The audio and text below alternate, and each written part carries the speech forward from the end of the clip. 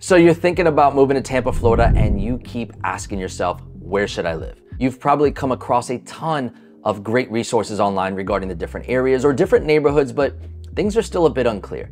At this point, you might have questions like what area is the best fit for my family? And you're trying to compartmentalize things into what are the safe areas, proximity to things that are important. Should I look at new homes or resale homes? Okay. And I like the idea of Tampa and all it has to offer, but I don't really want to live right in the middle of the city. Well, here's what I've got for you. I recently shot this video about the top neighborhoods in Tampa in case you do want to live in the city. But for those of you that want that suburban lifestyle or want newer construction with all the bells and whistles and want help figuring out which area is right for you, this video is all about the Tampa suburbs and I'm gonna do my best to break down each and every area for you. So stay tuned.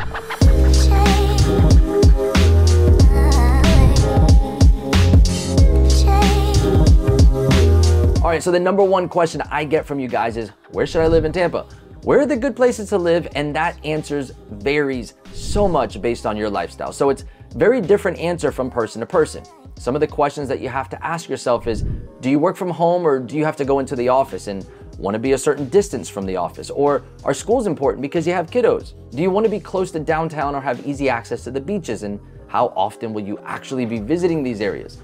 Is it really important to be near these areas or more important to be near the places that you'll visit on a more regular basis?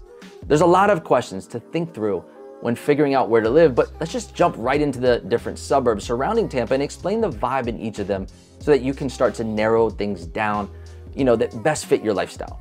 Along the way, I'm gonna do my best to explain proximity to major attractions and landmarks and show you a few homes and opportunities so you have an idea of what to expect.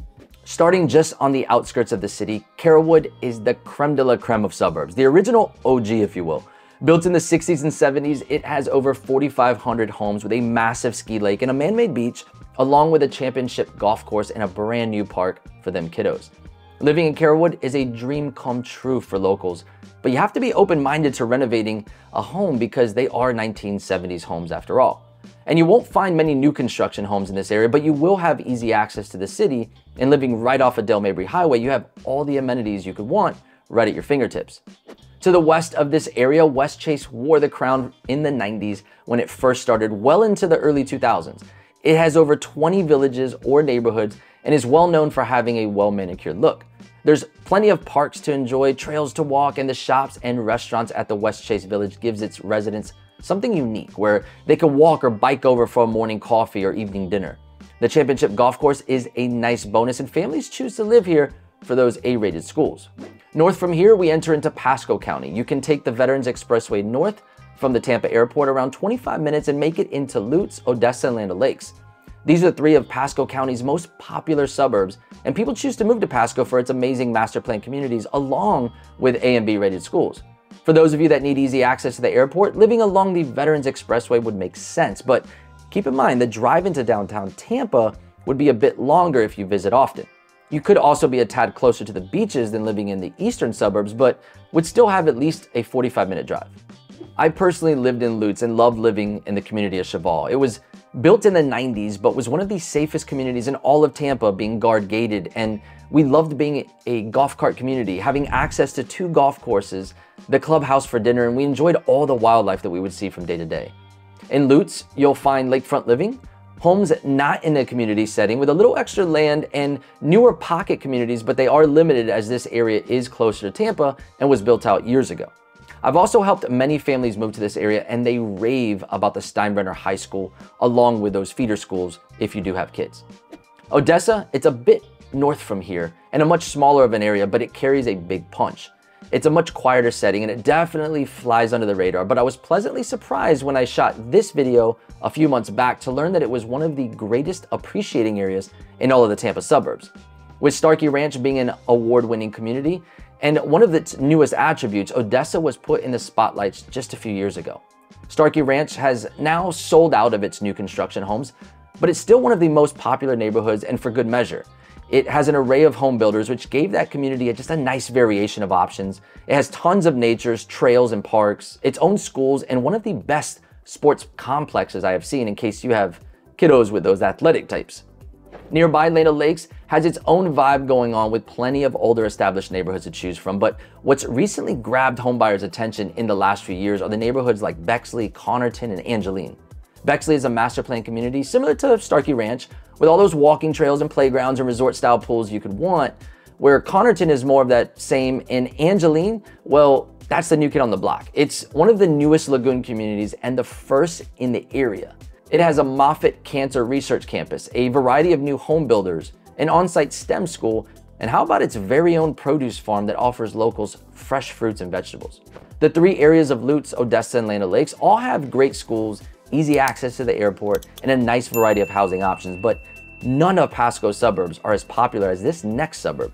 But while I do have your attention for 10 seconds, we are licensed realtors, so if you're planning to move to the Tampa area, please reach out to my team. Regardless if you are interested in new homes or resale, we would love to help you and your family find your next home. Now we are here and talking about the most popular suburb of all. I remember when this area only had a blockbuster and a Waffle House, but now it has over 90,000 residents and it has the highest concentration of shopping, dining, and entertainment. Many of the surrounding suburbs drive here for these amenities, but many decide to call Wesley Chapel home just to have it all right at their fingertips without having to drive into the city or the nearby areas. This area can feel busier at times, but that's because it's buzzing right now with the things to do in top neighborhoods. Wesley Chapel is a hot spot for families wanting new master plan communities with all those bells and whistles like the two Crystal Lagoon communities, Epperson and Mirada, or for those that want to live near the malls and communities like River's Edge or River's Landing, or the new Wood Creek community by D.R. Horton that is a rare find in the popular Wiregrass Ranch High School District. Living in Wesley Chapel, you have the best of both worlds as you really don't have to leave for anything, but when you want to visit the city, you can get into downtown or the Tampa Riverwalk in around 30 minutes or so. Being located on the northeast side of the city, you do have easy access to downtown via 275, but you would be opposite ends of the airport and the bridges that take you over to the beaches, adding a little extra time. So keep that in mind if either are important to you. Now, this is a great place for me to add some advice. I get a lot of people moving here wanting to live close to those beaches, but it's important to prioritize your daily and weekly activities. So, for example, my kids love the beach and we go at least once a month. And my daughter's soccer is in the city and my wife's job is in the city. We also enjoy date nights on the Riverwalk and at the drop of a dime visiting family in the area. So, since we do this more routinely, the beach becomes less of a priority for us. We can get to the beach in 45 minutes, but we're now 5 to 10 minutes from everything we do more frequently. Similar to most locals, we don't live at the beach. Rather, we get a beach place for a weekend or even a week at a time to just totally unwind. Many move to Tampa thinking they want to live close to the beach, but remember, Tampa has so much more to offer than that, and between the calendar of events and meeting with new friends, your weekends are going to get pretty packed. Now, moving along to the southeastern suburbs, You'll find similar new home builders and a mix of established areas along with newer areas that are still being developed and might even have a little bit of a rural feel. But remember, each area has its own vibe and will be different. The areas of Riverview and Brandon exploded in the early 2000s, and while they will have new community options, there won't be as many as if you drove just a bit further south. These two areas became popular because they're a quick 25 to 30 minute drive into the city and because they offered more affordable home options. If you're looking for new home options in this area, the popular Triple Creek community is a great option for you, and they just recently released new inventory as we started 2024. Along with this neighborhood, you can find smaller pocket neighborhoods that have recently popped up like River's Edge and Hawks Grove by Pulte Homes, as well as Bell Creek Landing by Casa Fresca. Now, I will say that Riverview and Brandon have been the most popular southeastern suburbs for years based solely on proximity to the city, but in the last decade or so, Lithia and Apollo Beach have jumped into the spotlight with the two developments Fishhawk Ranch and Waterset by Newland. Fishhawk Ranch is still a top area to live for many, but they sold out decades ago, so you'll have to shop resale homes there. Now, knowing that, let's go ahead and shift our focus to Waterset just for a moment. Waterset is located in Apollo Beach, and last I checked, this community had over 5,000 homes built, and it was just barely past halfway completed. It has earned a ridiculous number of awards, and here's why. There are six home builders to choose from, including Richmond American Homes, which recently made their debut in Tampa, and Toll Brothers, which has a 55 plus exclusive section coming soon. 12 miles of trails, fit stations, seven parks, playgrounds, sports courts, four community pools, multiple clubhouses, a county sports complex, an event calendar, on-site schools, and multiple dog parks. In addition to this, around the corner, Apollo Beach's first ever modern retail space called The Yard is underway, where people can gather, shop, and dine, creating the perfect blend of commercial and retail space. So while we're here, let's pop into a few of these models just to give you a glimpse of what you can expect with new homes in the suburbs. Keeping in mind that this is an example right here in Apollo Beach, but you can find homes similar to these in many of the other communities. And make sure to stick around because after these very brief new home examples, I wanna talk to you about some of the areas closer to the beaches. All right, folks, so I brought you here to Waterset because this is a great example of what you can find in the suburbs as far as a master plan community with multiple builders and multiple home options, right? So they're gonna have everything from your affordable, smaller homes all the way up to your multi-million dollar homes. And we're gonna start right here by taking you through the Nightingale from David Weekley. Now, David Weekley is a semi-custom builder, but this is one of their 40-foot lot plans. It's more of a shotgun style, so right under 2,000 square feet, but I think you're gonna love it. So follow me right inside. All right, folks, so coming into this David Weekley, it automatically made me think about those of you that are looking for a smaller three bedroom, two bathroom, but you still want some of those nice upgrades. So this is not the most affordable option, but it's jumping into that tier two level to where you're gonna get some of those nicer upgrades as we can see right here in the kitchen already.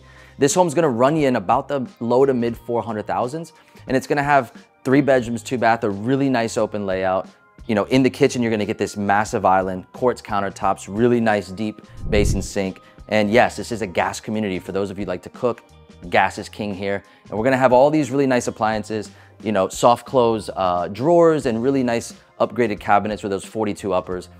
In this house, you're gonna have the vinyl through the house. You're gonna have the two guest bedrooms up towards the front. And then this thing just has this shotgun approach that just flows really nicely through the home, all the way to the back of the home where you could find the master.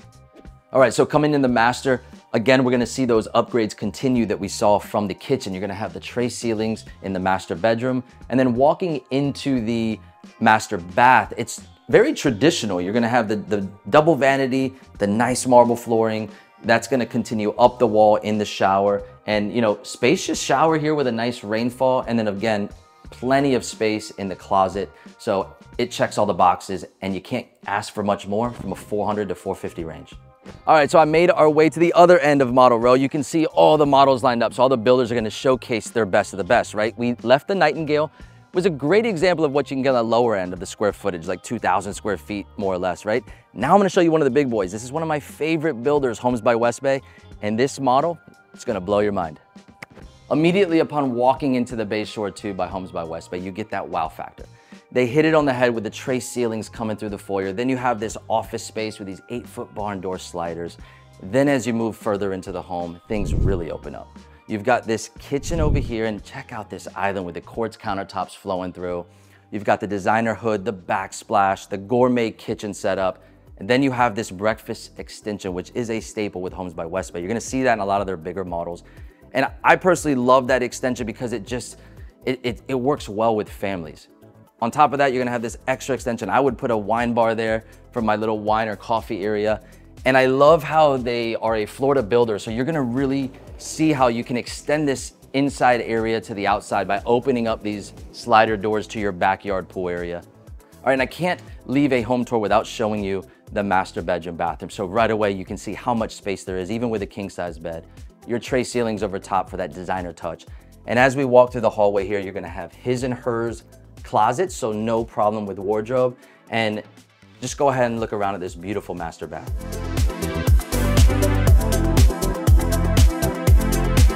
Upstairs with the Bay Shore 2 is where we get a nice treat. Right behind me, you can add a fifth bedroom and a full bath to really create that upstairs suite life. And then you walk into this bonus room. This gives the house the ultimate flexibility. All right, so our third home here today is gonna be by Richmond American Homes, and this is their debut in the Tampa Bay area, right here in Waterset.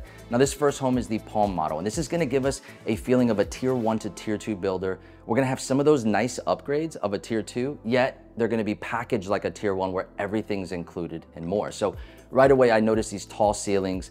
You're gonna have a bedroom right up front here, which is nice on the downstairs level to have that first bedroom.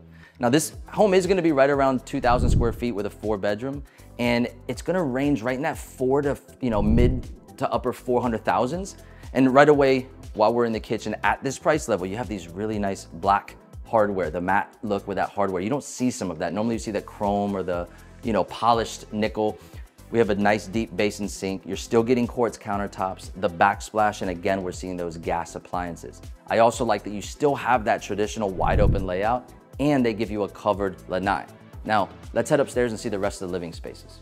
With Richmond American Homes, they do their best to deliver an affordable product, yet we're gonna see a lot of those trendy new features that we haven't seen in our market right up here upstairs. So as we made our way upstairs, you're gonna have this loft, which gives a second living space to the upstairs bedrooms.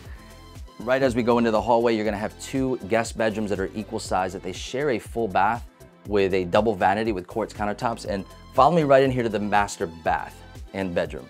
Right in here in the bedroom, plenty of space, but instantly that trendiness. We're gonna see the sliding barn door. You typically don't see that at the four, $450,000 range. And then right away we come into the master bath and I love the black matte hardware that we saw downstairs. They continued it into this framed in shower that really makes that pop. And then again, quartz countertops and plenty of space in the master closet. So that was a quick teaser of what you can expect with new homes here in the Tampa suburbs. We got to see a few good examples in the lower to mid range and the upper middle range. And I don't have examples today of the more affordable options, but just so you know, we do have everything from the low 300,000s with villas and townhomes and single family homes all the way up to multi-million dollar options. Now, let's shift over to a few areas where we can access the beach and life's a little slower pace. Have you ever heard of Dunedin, Florida?